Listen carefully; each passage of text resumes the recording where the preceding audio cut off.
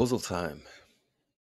No rush puzzle time. So, as you know from now, I'll take as long as I need to take to try and find the answer to chess in these games. And I know a lot of people will go, Oh, I would have seen that uh, dead easily. Um, it's not a case of me finding things fast or anything like that.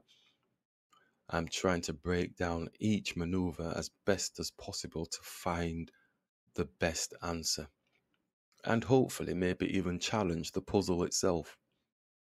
So I think a deeper understanding of the puzzles that they're presenting gives a deeper understanding to the answer to chess. If we find it quickly, we find it quickly, but we still want to go deep with it. Okay, so it's black's turn. Find the best move for black. The knight's under attack. So you'd think obviously that's going to be moving, but that's not like a best move. It can take this bishop, which is in our mantra, knights on the bishop. So taking that, it's actually on two higher pieces. Only piece that really can take it is the queen. So the queen takes. So the queen is in this area here. Now, the queen would be in that area and the bishop can come here because it's got the support of the pawn. And behind the queen is the king and there's nothing else that can actually support that, so would actually win the queen. So from that, I believe it is that move. It's that simple. So we're going to go with that, and we're going to go with that. Oh, still carrying on, and we take. Excellent. All right, continue training. Let's go in for another one. Find the best move for black. Okay, so now the queen is under attack. It does actually win a piece, but is it just even Stevens? It, it's up material. If it takes the bishop, because we've got one, two minor pieces, then they're going to be down a minor piece. If the queen takes, pawn takes, they're still down a minor piece. Suppose this pawn drops here, but the knight can move. So is it a material gain thing? Or is it tricking me and there's a checkmate pattern somewhere? I can't see it, but as we know, this bishop can go here. Does that do anything to the situation?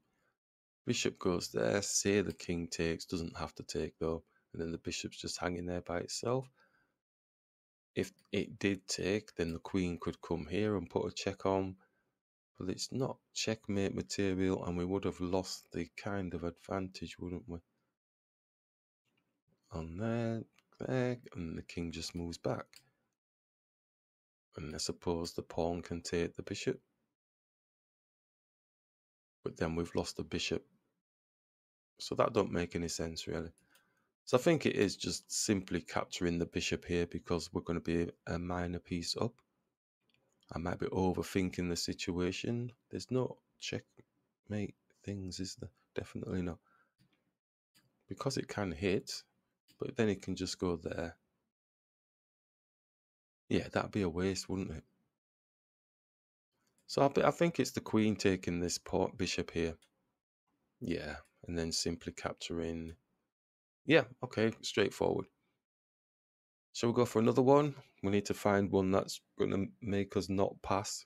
I think we've passed all the puzzles at the minute so far, which is really quite shocking.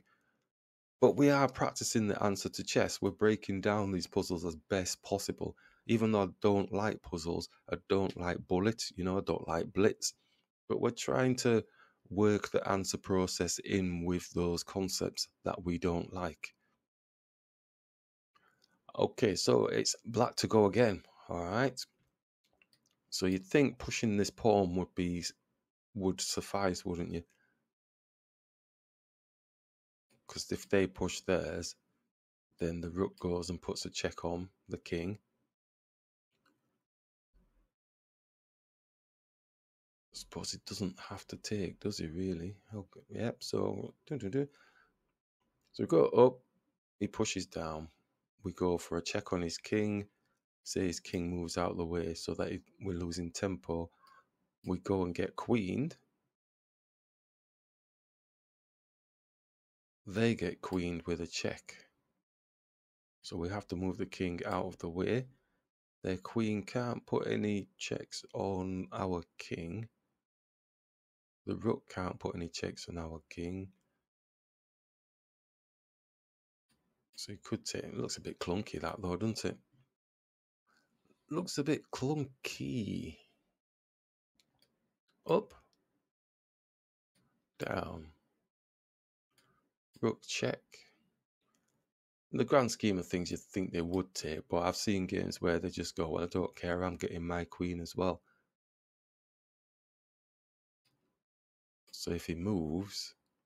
Oh! Silly me. If he moves the king, then we'd just take the rook anyway and we'd be on the pawn. So even if it got promoted, we'd be able to take it. Silly me. Overthinking. Let's push. But he's not doing that anyway. So we can bring the rook here, put a check on. Well, potential check. Don't rush it though, because it's different to what we just saw. So if we go here,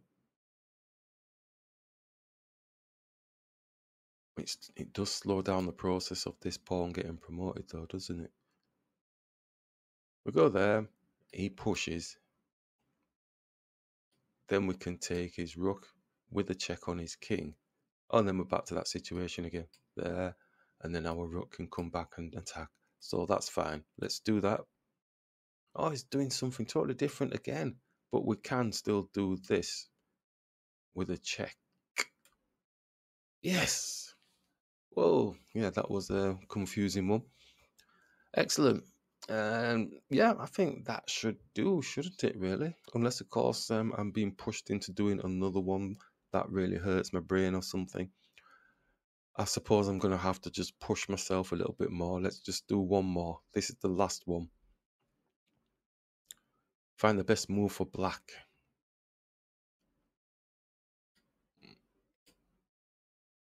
Best move for black.